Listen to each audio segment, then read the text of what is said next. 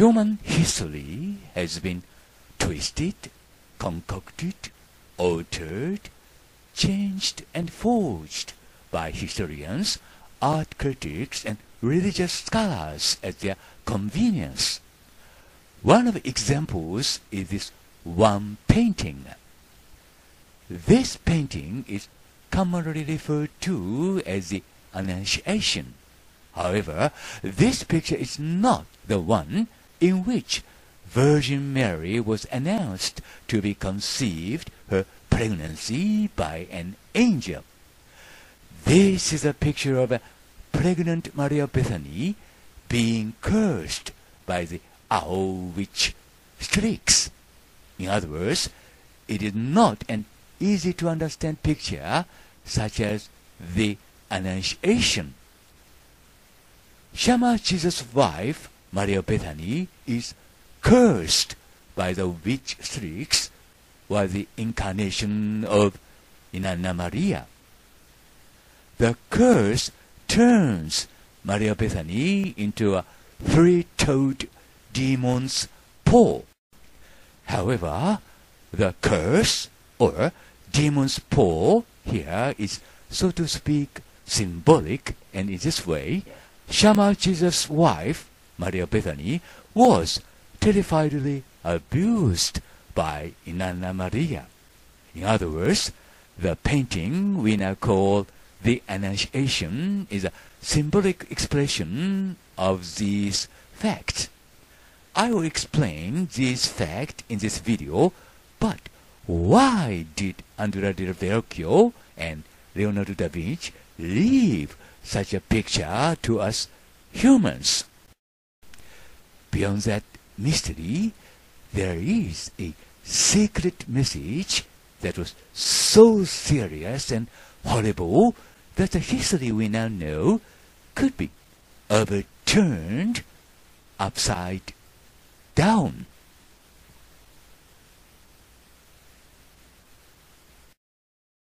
人間の歴史は歴史家美術評論家 宗教学者たちによって彼らの都合の良いようにねじ曲げられ捏造されてきました。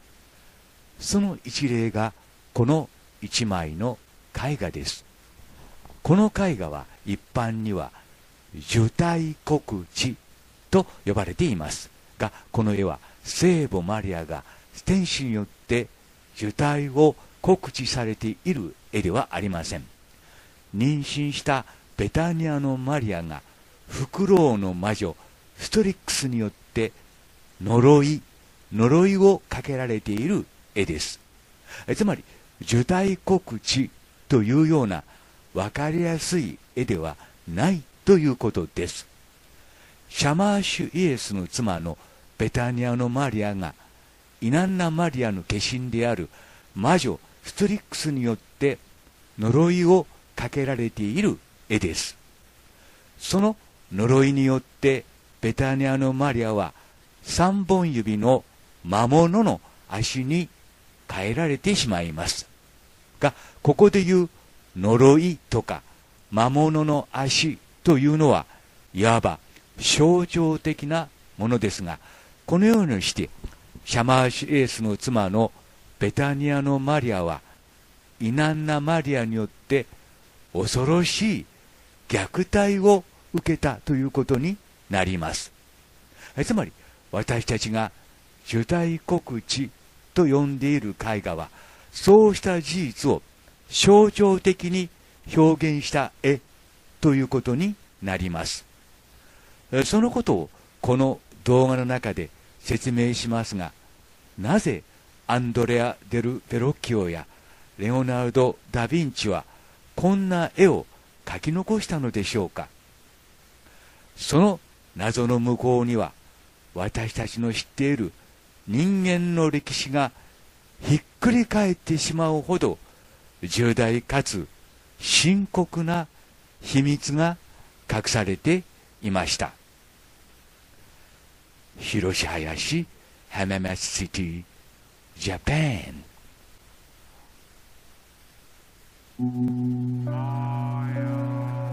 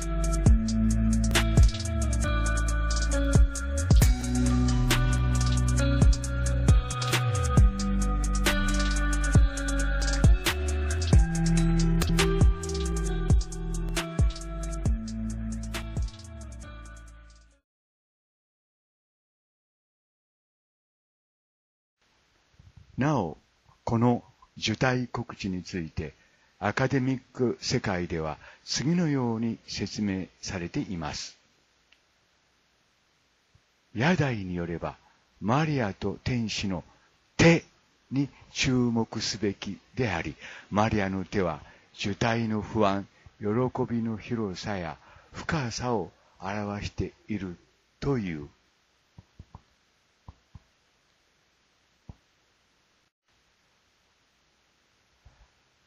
その構想は受胎告知から一歩進め、僕の受胎告知図を書くことだった。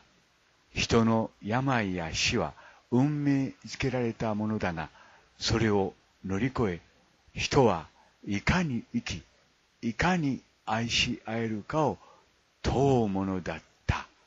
と。ノーコメント。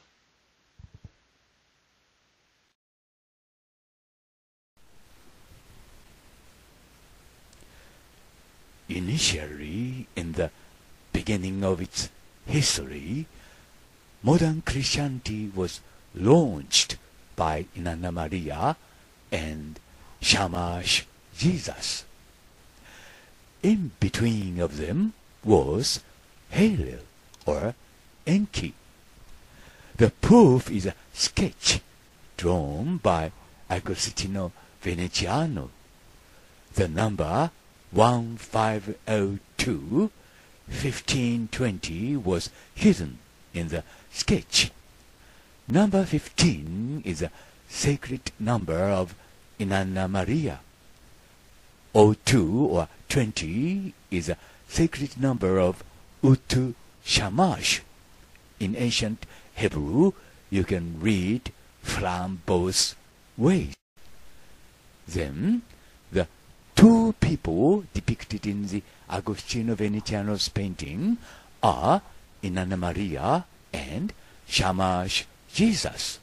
Also, what is drawn in the center looks like a dragon god, but it is not clear.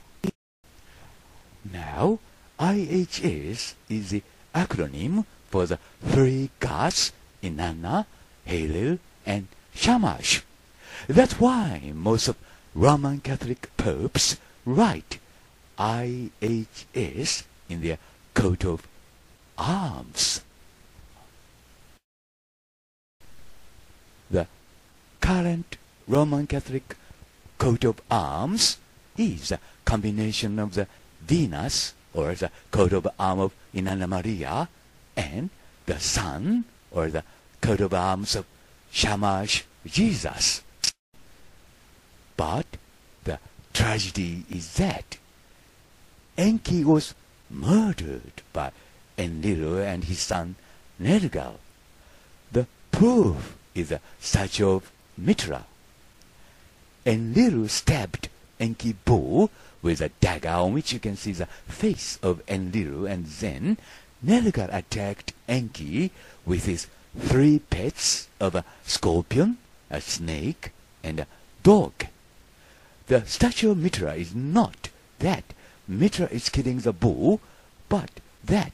Mitra is trying to pull out a dagger from the bull to rescue and save the life of the bull, Enki. Meanwhile, Shama Jesus fell in love with Lazarus' sister, Maria of Bethany, and eventually got married. This is expressed in a painting entitled The Last Supper, which is said to have been drawn by Leonardo da Vinci. The painting of the Last Supper depicts the eleven apostles who are surprised by the sudden announcement of their engagement. But Shamash Jesus turned over to Mithraism against Inanna Maria. Inanna Maria seems she couldn't forgive it. Therefore, Inanna Maria tortured and murdered Shamash Jesus. Michelangelo's sculpture the dying slave and the rebellious slave, and Firenze's Pieta show this fact. The proof is a painting entitled The Entombment, which is said to have been drawn by Michelangelo Buonarroti. Shama Jesus was killed by Judah the traitor, John the Baptist, and Inanna Maria. The woman on the far right in the painting is Maria of Bethany. Maria of Bethany's face shows her being abused. Maria Bethany was struck by deep sorrow, and statue of Bruges Pieta expresses this situation. But at that time, Maria Bethany was pregnant. This is expressed in the painting, The Annunciation, which is said to have been drawn by Leonardo da Vinci, and the painting, The Arcadian Pastels, by Nicolas Poussin. And Maria Bethany soon gave birth to a boy. The sculpture, Virgin and her Child, which is said to have been sculpted by Michelangelo Buonarroti, expresses this fact. Now you already know why the woman in the sculpture is wearing a mourning dress. Not surprisingly, by the way, a poor man was crucified and killed after the death of Shama Jesus, a poor man who is a replacement arranged by someone else.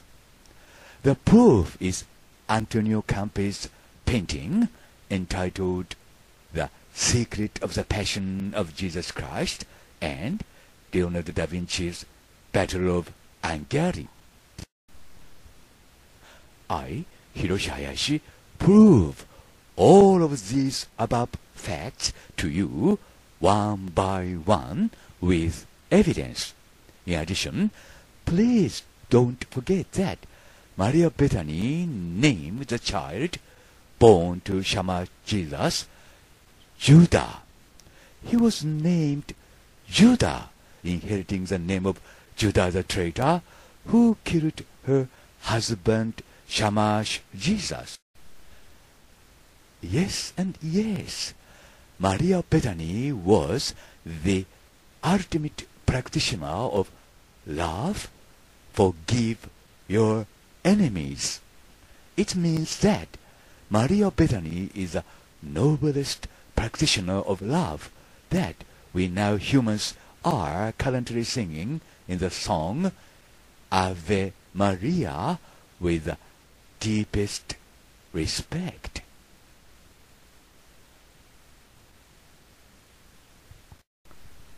当初現在のキリスト教はイナンナ・マリアとシャマーシュ・イエスによって立ち上げられましたその間にいたのがヘイレルつまり延期ということになりますその証拠はアゴスティノ・ベネチアーノが書いたスケッチ画ということになります。そのスケッチ画の中には1502という数字が隠されていました。15つまり15はイナンナ・マリアの申請数です。02反対に読んで20は打つシャマー氏の申請数です。古代ヘブライ語は左右自由に読み書きする習わしになっていました。アゴスティノ・ベネチアーノの絵の中に描かれている人物は左側イナンナ・マリアと右側シャマーシュイエスということになります。またその中央に書かれているのは竜神のようにも見えますがいまいち明確ではありません。その3人の神の頭文字を並べると IHS になります。ローマンカトリックの歴代の法王がその紋章の中に IHS と書き込んでいるのはそういう理由によるものです。また現在のローマンカトリックの紋章はイナンナ・マリアの金星の紋章とシャマーシュイエスの太陽の紋章を合体させたものです。注意深くご覧ください。がその延期はエンリルとエンリルの息子のネルガルによって殺害されます。その証拠がミトラ像ということになります。エンリルが延期延期ブルつまり延期お牛の首に探検を突き刺し続いてネルガルがサソリ蛇犬を使って延期を攻撃しています。そのミトラ像はミトラがお牛を殺しているのではなくお牛を助けるためにお牛から探検を抜こうとしている像ということになります。一方シャマーシュイエスはラザロの妹と恋をしやがて結婚します。その様子を表現したのがダ・ヴィンチが描いたとされる最後の晩餐と題された絵画です。突然の婚約発表に驚いている11人の人たちの様子が描かれています。この中には裏切り者のユダの姿はありませんがそのシャマーシュイエスはイナンナ・マリアにとっては敵ともいえるミトラ教に寝返ってしまいます。イナンナ・マリアはそれを許せなかったものと思われます。そこでイナンナ・マリアはシャマーシュイエスを虐待し殺害します。その様子を表したのがミケランジェロが彫刻したと言われている瀕死の奴隷と反抗的な奴隷と題された彫刻です。それにミケランジェロが同じく彫刻したフィレンツェのピエタ像ということになります。そしてその証拠がミケランジェロが描いたと言われている埋葬と題された絵画です。シャマーシエスは裏切り者のユダバプティストのヨハネそしてイダンナ・マリアの3人によって殺されます。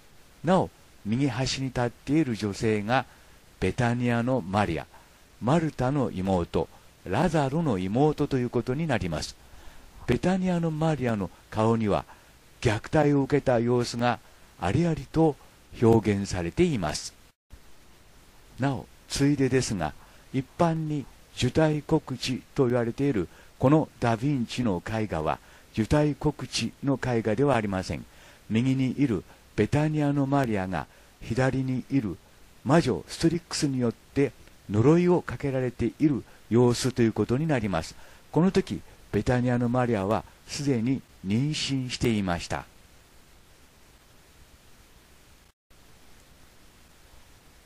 ベタニアのマリアは深い悲しみに襲われますがその様子を表現したのがブルージェのピエタ像ですがその時ベタニアのマリアは妊娠していたということになります。その様子を表現したのが先の受胎告知。そしてニコラ・プスさんの描いたアルカディアの牧人たちの絵ということになります。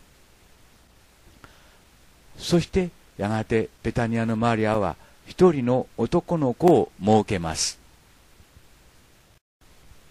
その様子を表したのがミケランジェロが彫刻したと言われている聖母子像ということになります。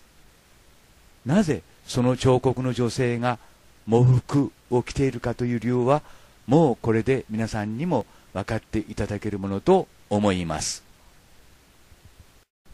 さらに当然のことながらシャマーシュイエスが殺された後十字架にかけられて殺されたのはシャマーシュイエスの哀れな替え玉ということになりますその証拠がアントニオ・カンピの書いたイエス・キリストの劇場の秘密と題された絵画とダ・ヴィンチが描いたとされるアンギャリの戦いということになります。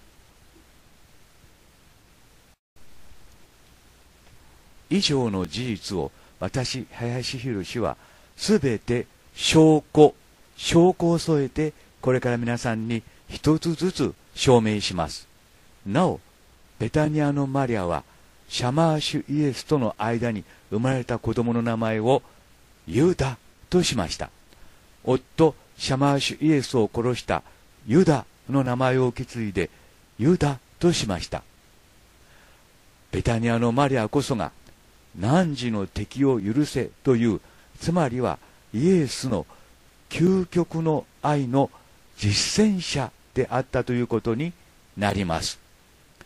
私たち人間が現在歌曲アベマリアの中で敬愛の念を込めて歌っているそのマリアというのはつまりは崇高な愛の実践者はつまりはベタニアのマリアだったということになります。広島林、浜松シティ、ジャパン。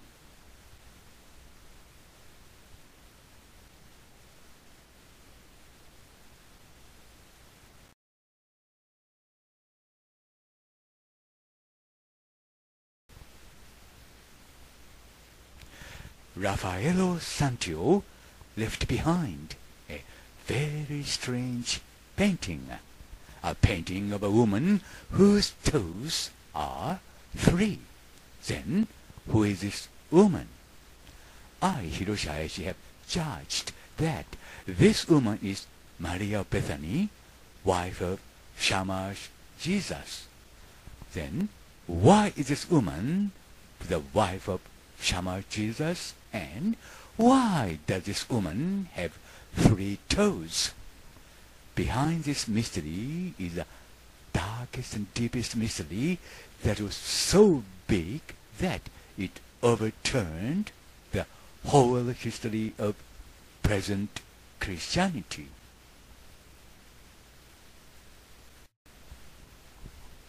ラファエロ・サンチオは奇妙な絵画を描き残しています。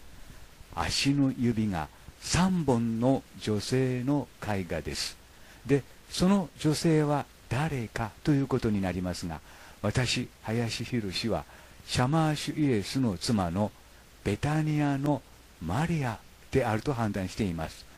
ではなぜこの女性がシャマーシュイエスの妻なのかそしてなぜこの女性の足の指が3本なのか。この謎の向こうには現在のキリスト教史をひっくり返すほど大きな謎が隠されていました。広島林浜松シティジャパン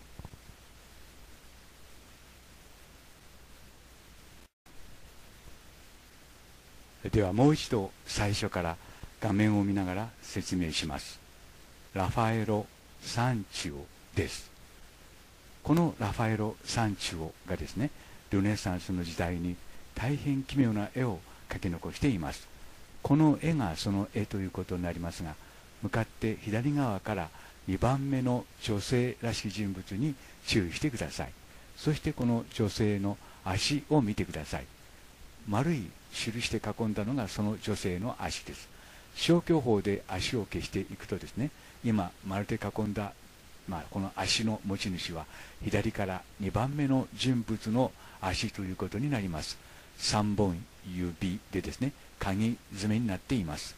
えつまり普通の人間の足ではないということになります。ではなぜこのような足をラファエロ山頂は描いたということになります。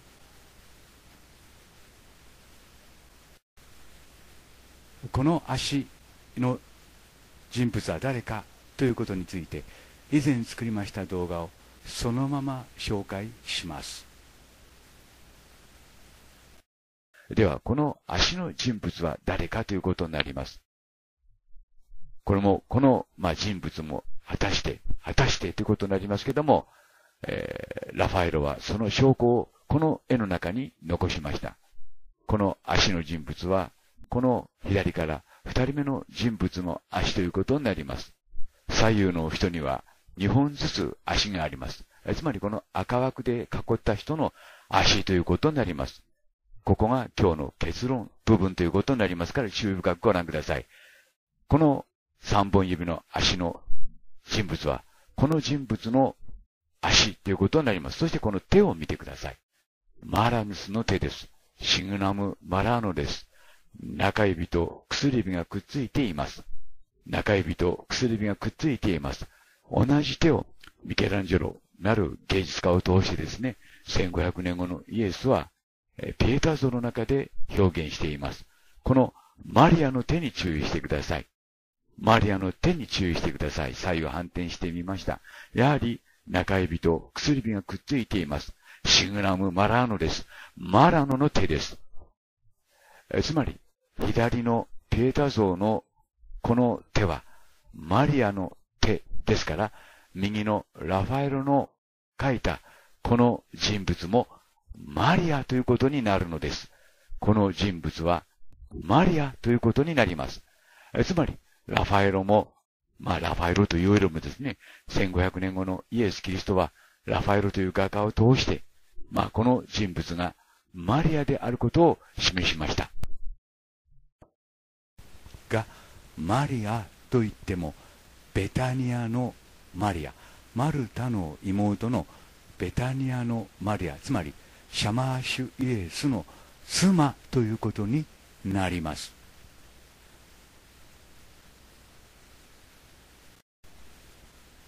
がもう一人三本指の足の女性を描いた人物がいました。それがレオナルド・ダ・ヴィンチです。レオナルド・ダ・ヴィンチはこの絵の中に三本指の女性を描きました。それについてまず説明します。ラミアと並んでストリックスもまたギリシャ及びローマの民話の中では、ヴァンパイア的な魔女でした。特に、幼児や子供を好んで食べていましたが、時に荒野を一人で旅する孤独な人を襲って食べたとも言われています。ダヴィンチは主体告知の中で、マリアはそのストリックスであったということを表現しましたが、ラファエロ・サンチオもまた自分の絵画の中でマリアはストリックスであったということを表現していました。広島やし、浜祭り、ジャパン。今ご覧いただいているのはですね、マリアの下にあるものがカーペットなのか、大なのかというところです。で、マリアの赤い衣服の垂れ具合からしてですね、これはカーペットであると判断しました。一見すると台のようにも見えますが、カーペットです。そのカーペットの下からは、マリアの三本指の足が覗いています。注意深くご覧ください。このフクロウの置物の下ですね。その下に三本指の足が見えています。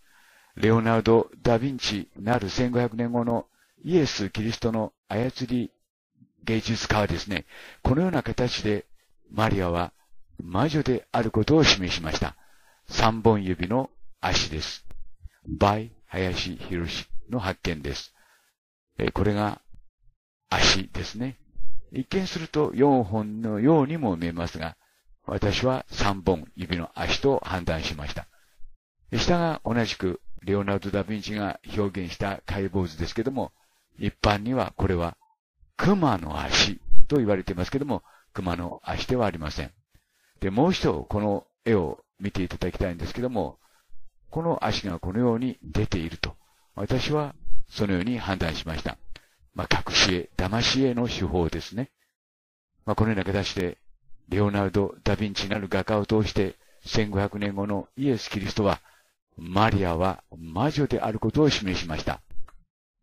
つまり、マリアは、えー、ストリックスであることを示しました。がここでも注意しなければならないことはですねマリアといっても右側の人物はベタニアのマリアだということです。シャマーシュイエスの妻のベタニアのマリアだということです。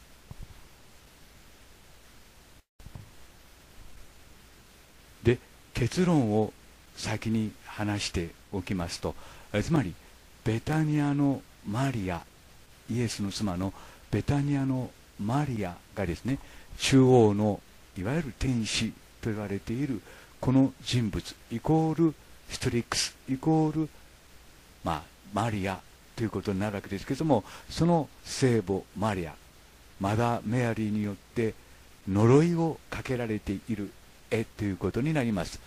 右の人物は一般には聖母マリアの、まあ、絵と言われこの絵はですね受胎告知を受けている絵というふうに説明されていますがそうではないということです。つまり左の天使と言われている猛禽類つまりフクロウの翼を持った魔女にですねつまりは呪いをかけられているということになります。そして呪いをかけられたベタニアのマリアはですね足はこのように変形させられたということになります。つまり呪いをかけられて魔女の足にさせられてしまったということになります。下は一般にはリリトと言われてますけども現在はイナンナと言われています。足の指を見てください。3本指です。つまりストリックスは自分の姿に似せてベタニアのマリアの足に呪いをかけたということになります。こうしてラファエロ・サンチオとミケランジェロそしてレオナルド・ダ・ヴィンチの3人の描いた絵画がそのコンセプトにおいて一致していくということになります、まあ、それを並べてみましたのでどうかご覧ください。左上がですねこれがラファエロ・サンチオです。そしてこの絵の中に表現されている女性はシグラム・マラーノの手をしています。つまりミケランジェロのペータ像の中に表現されている、まあ、マリアと言われている人物の手と一致するわけです。そしてダ・ヴィンチなる画家はですね「受胎告知」という絵画を通して3本指のやはり同じ女性すなわちマリアすなわちベタニアのマリアを表現したということになります。なぜ、えー、聖母マリアストリックスがですねベタニアのマリアに呪いをかけてベタニアのマリアの足をこのようなつまりは悪魔の足にしてしまったか。つまりそこに出てくる言葉が呪いという言葉になります。つまりベタニアのマリアは呪いをかけられて3本指の足にさせられてしまったということになります。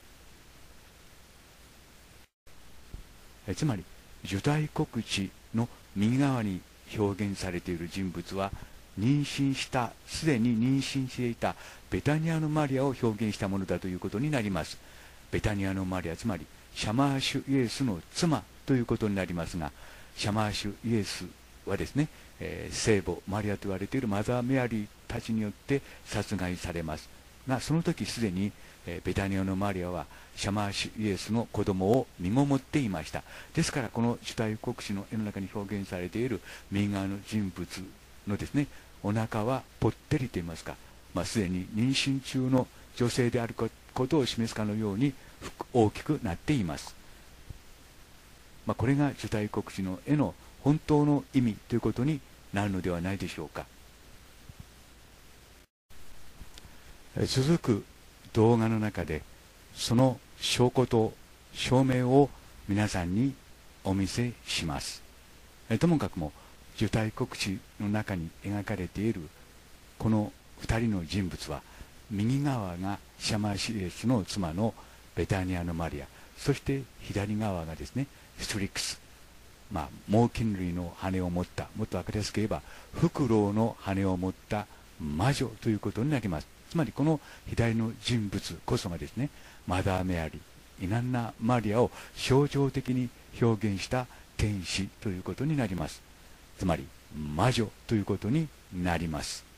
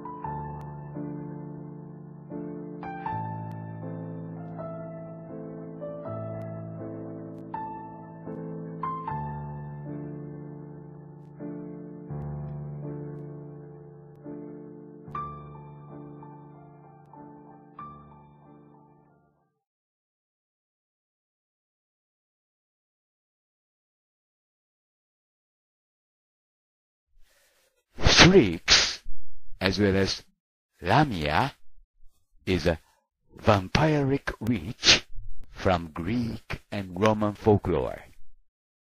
Its favorite victims are infants and small children, but it is also known to attack lone travelers who venture too far into the wilderness. Raffaello Santillo painted Maria as Strix together with Leonardo da Vinci in his painting The Annunciation. ラミアと並んで、ストリックスもまたギリシャ及びローマの民話の中ではヴァンパイア的な魔女でした。特に幼児や子供を好んで食べていましたが、時に荒野を一人で旅する孤独な人を襲って食べたとも言われています。ダヴィンチは主体告知の中で、マリアはそのストリックスであったということを表現しましたが、ラファエロ・サンチオもまた自分の絵画の中で、マリアはストリックスであったということを表現していました。広島市浜祭りジャパン今ご覧いただいているのはですね、マリアの下にあるものがカーペットなのか台なのかというところです。で、マリアの赤い衣服の垂れ具合からしてですね、これはカーペットであると判断しました。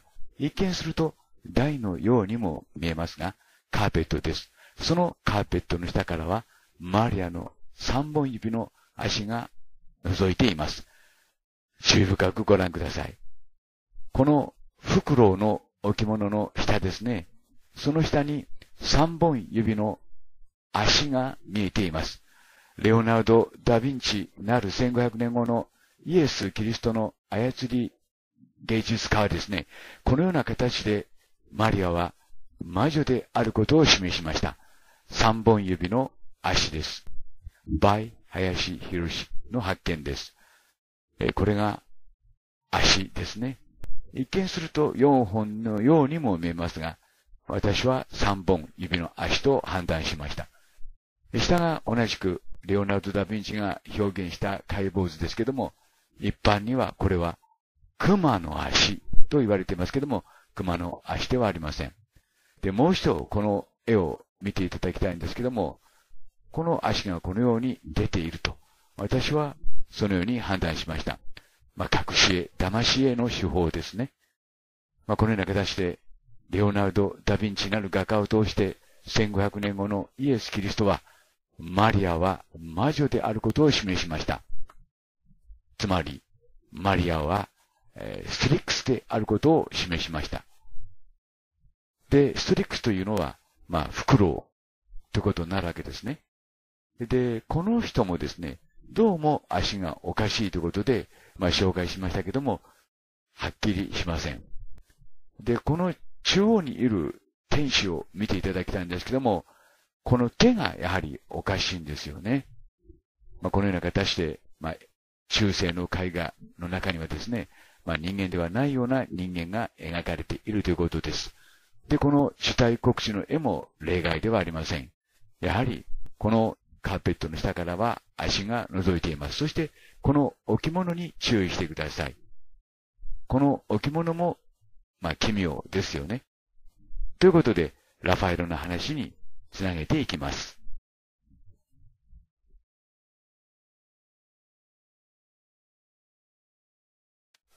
ラファエロ・サンチオもまた三本指の、まあ、奇妙な人物を描いています。これがその絵です。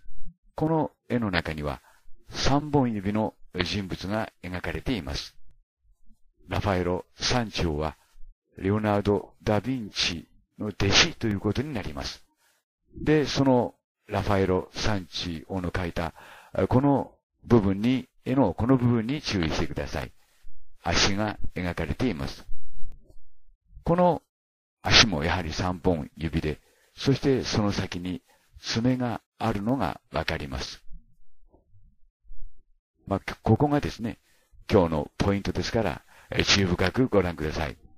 3本指ですね。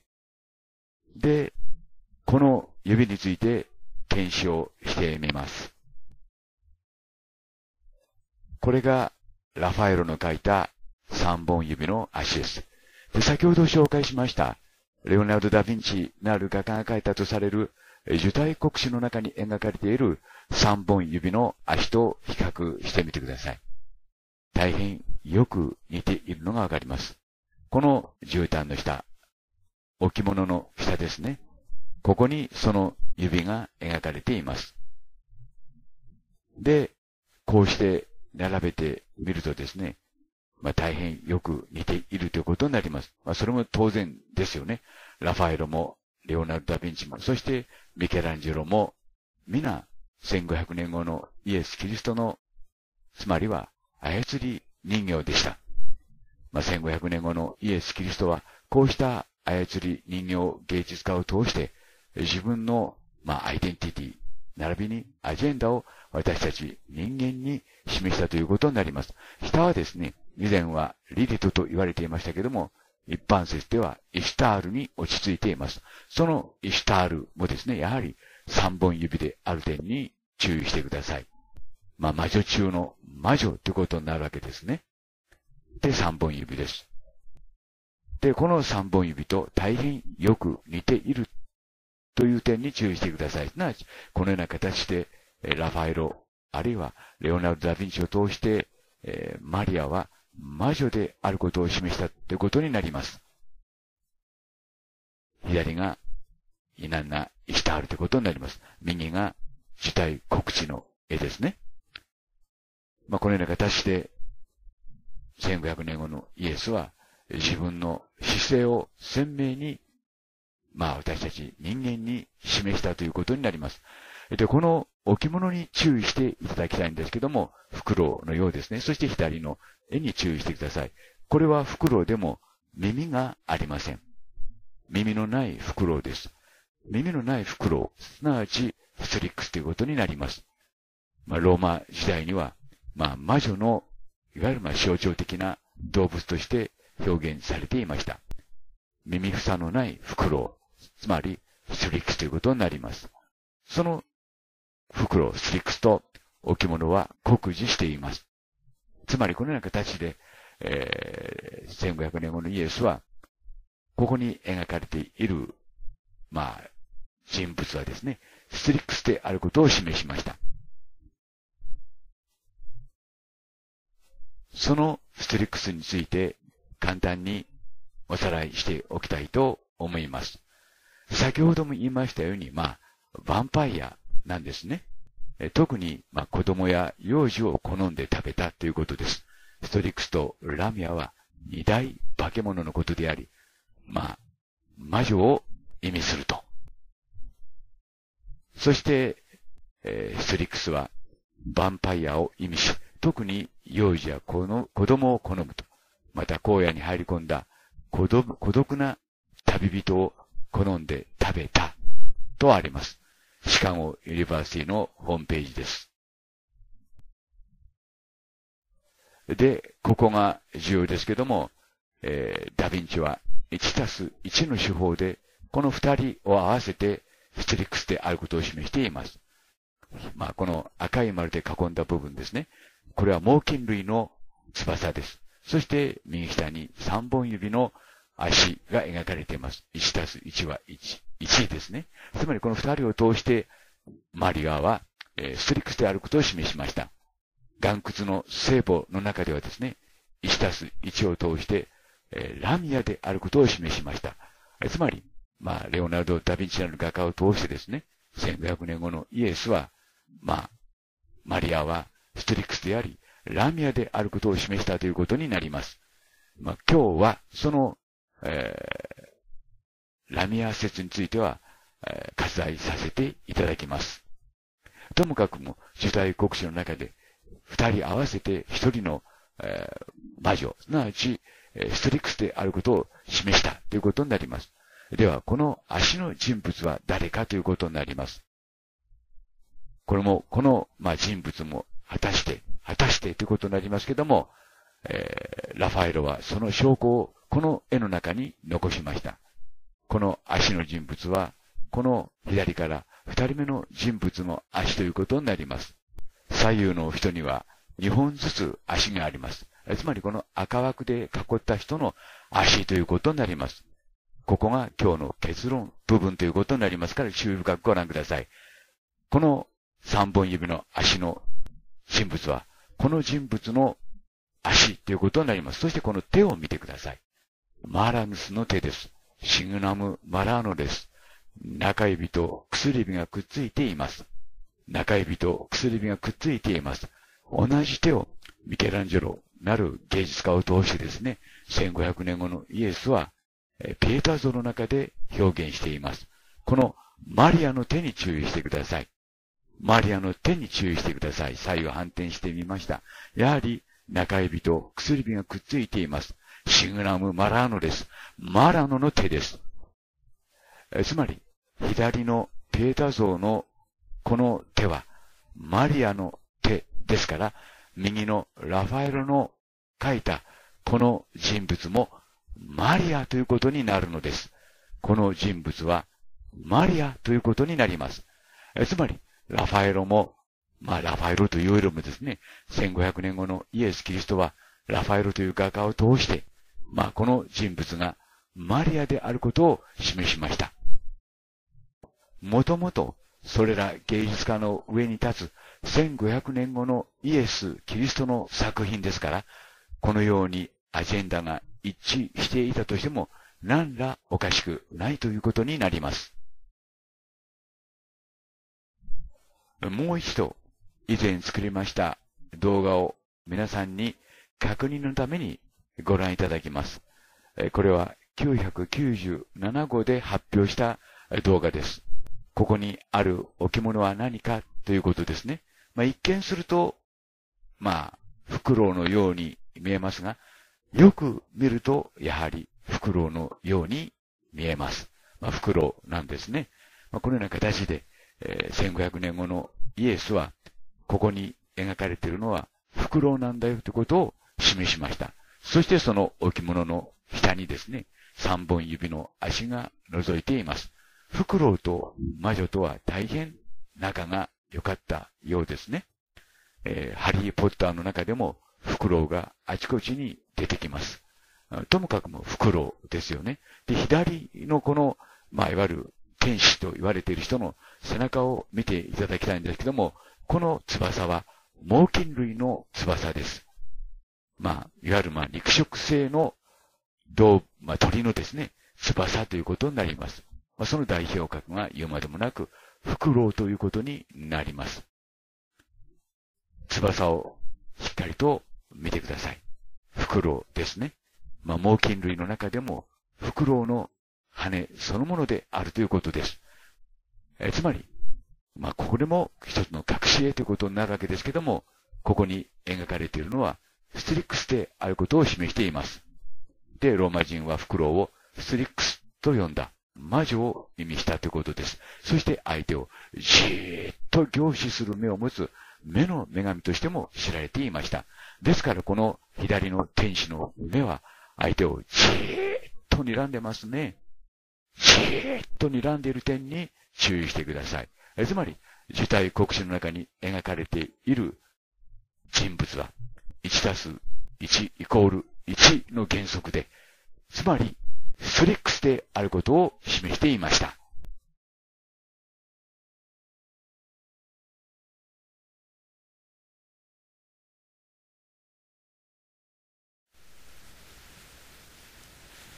The FG Gallery's official website writes about the angel in the middle of Leonardo's painting, The Annunciation, as follows.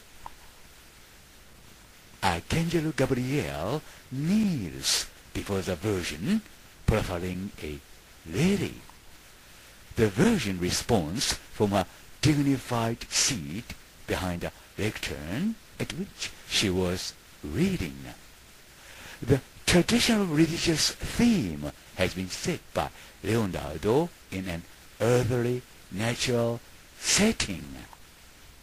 However, my interpretation of this painting is completely different.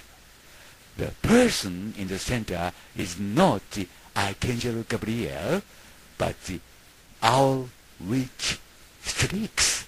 And I, Hiroshi Hayashi, judge that Strix witch cursing Mary of Bethany, who is already pregnant, or Mary of Bethany, wife of Shamash Jesus.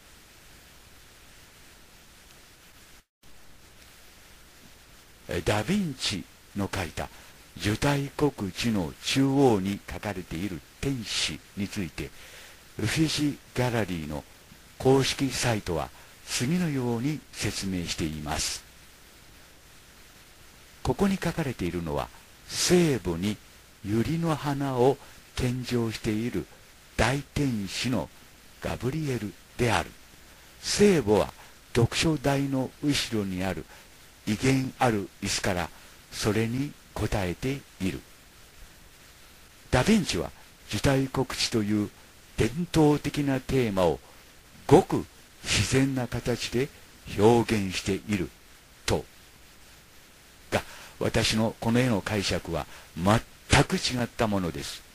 中央の人物は大天使のガブリエルではなくフクロウの魔女ストリックスでありこの絵は右の名門になったベタニアのマリアつまりシャマーシュイエスの妻に悪魔の呪い。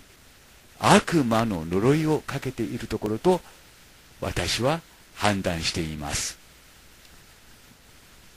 広島林浜松シティジャパン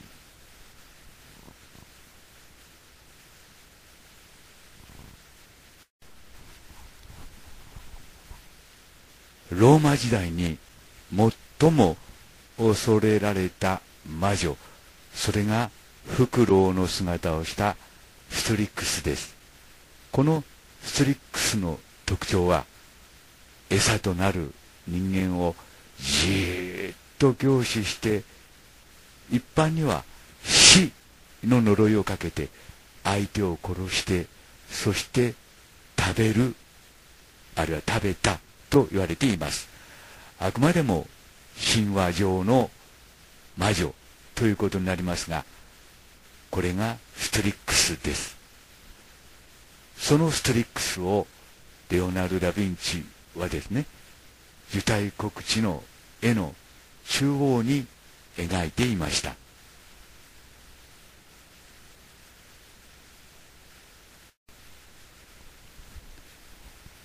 次にあのウォルト・